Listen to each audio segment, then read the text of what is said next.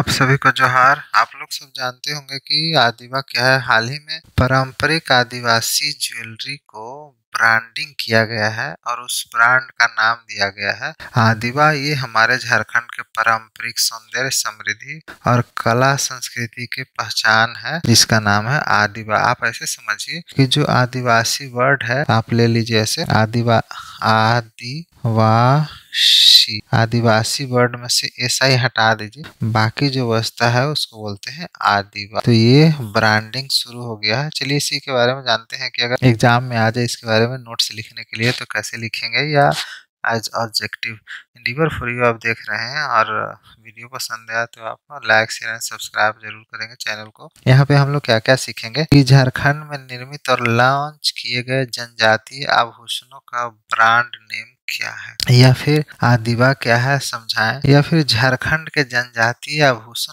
कौन बनाता है जिसे आदिवा सब ब्रांड के तहत बेचा जाएगा? उसके बाद हम लोग देखेंगे। ज्वेलरी सब ब्रांड, आदिवा को किस ब्रांड के तहत लॉन्च किया गया। देखिए, इसमें कंफ्यूज नहीं होना है। आदिवा सब सब ब्रांड है और एक बड़ा ब्रांड हर आदिवासी प्रोडक्ट को बेचने के लिए बनाया गया झारखंड सरकार के बारे में, उसके बारे में हम लोग देखेंगे। और आदिवा के आभूषण आप ऑनलाइन भी खरीदे जा सकते हैं, आप कैसे खरीद सकते हैं, इस पे हम लोग बात करेंगे। और आदिवा पे शॉर्ट नोट्स लिखिए। इन सारे प्रश्नों का उत्तर ढूँढने का कोशिश करते हैं। बहुत शॉर्ट वीडियो है और झारखंड के पारंपरिक आभूषणों की ब्रांडिंग पे नोट्स लिखे हाँ। अब ये है क्या? झारखंड के स्वयं सहायता समूह, जिसको सेल्फ हेल्प ग्रुप्स बोलते हैं, उसके सखी मंडल की महिलाओं द्वारा बनाए गए आदिवासी आभूषण है। समझ गए? आदिवा, आदिवासी आभूषण मतलब आदिवासी में से ये सी हटा दीजिए तो बन गया आदिवा। इसे आदिवा ब्रांड के नाम से बेचा जाएगा।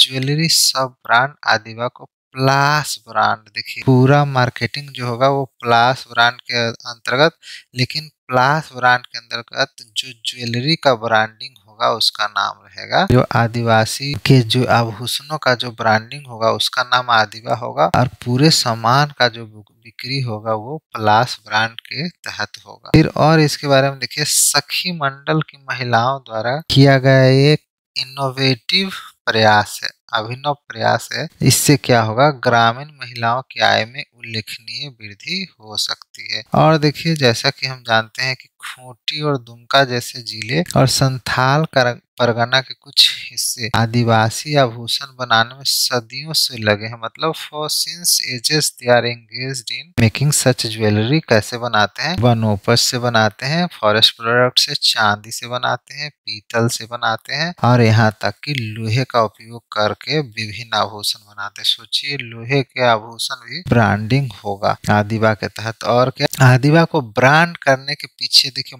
मुख्य वजह क्या था? ग्रामीण महिलाओं को स्वनियोजित बनाना, उनकी आय में वृद्धि करना। देखिए, अगर ये आ जाए कि आदिवा बनाने के पीछे उद्देश्य क्या था तो यहाँ से यहाँ तक का लाइन बहुत महत्वपूर्ण है लिखने के लिए कि आदिवा को ब्रांड बनाने के पीछे मुख्य कारण ग्रामीण महिलाओं को सेल्फ एम्प्लॉयड बनाना, उनकी आय में वृद्धि करना, आदिवासी आभूषणों के लिए बाज़ार में अधिक एक्सपोजर देना राज्य की विरासत आदिवासी आभूषणों को नई पहचान के माध्यम से बड़े बाज़ार पे एक नया मंच देना ए न्यू प्लेटफॉर्म देना, इसके लॉन्च से झारखंड की कला और संस्कृति को राष्ट्रीय पहचान मिलेगा। झारखंड का जो कला संस्कृति है और उससे जब राष्ट्रीय पहचान मिल जाएगा तो फिर वैश्विक पहचान दिलाने में मदद मिलेगा। ऑनलाइन आदिवा आदिवा को आप ऑनलाइन भी खरीद सकते हैं। आदिवा मतलब ज्वेलरी ब्रांडिंग ऑफ़ झारखंड। इसे प्ला स्मार्ट मोबाइल एप्लीकेशन। आप ध्यान रखिएगा, बहुत महत्वपूर्ण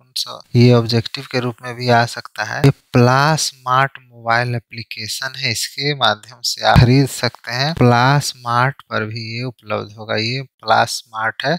ये क्या है? राज्य सरकार की इकाई है। J S L P S Jharkhand state livelihood promotion society द्वारा संचालित स्टोरों की एक श्रृंखला है। बहुत सारे स्टोर झारखंड खुले हैं। J S P L S से। और सबसे लास्ट में आप देखेंगे इसका उद्घाटन 2 नवंबर 2021 को Jharkhand state livelihood promotion society के जो सीईओ हैं के द्वारा, जी सहाय है, इनके द्वारा राज्य का कार्यालय हेहल में है, रांची में जेएसपीएलएस का, वहाँ पे इसका उद्घाटन किया गया। तो चलिए, ये रहा नोट्स अबाउट द आदिवा अब आदिवा के बारे में आप भी ब्रांडिंग कर सकते हैं। वीडियो पसंद आया तो email like share and subscribe it thanks for being with us